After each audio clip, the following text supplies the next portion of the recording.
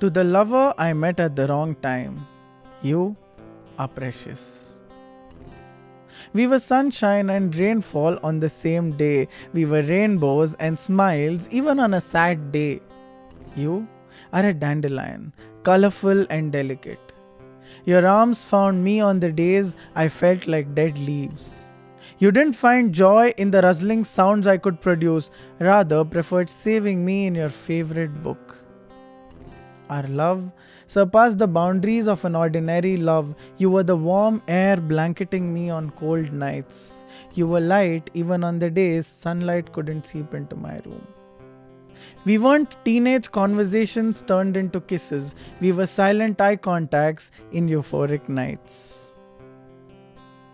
We weren't nervous conversations, we were slowly, carefully cooked silences, accepting enough to wallow in sorrow, subtle enough to melt into kisses with rebellious tongues. Dear lover, you are precious.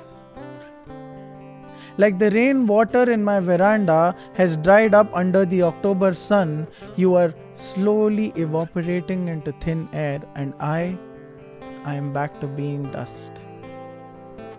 I've spent hours wondering how couldn't I fit into this cardigan of love we knitted together night after night, only to realize I am expended. I suffer a kind of numbness that has thickened my skin, but you, you need to know.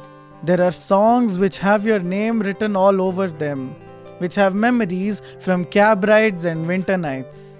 You meant everything that I told you on drunk nights under dim lights. I think of you and write letters to the moments we were together. Maybe that's my way of holding on to whatever that's left of us.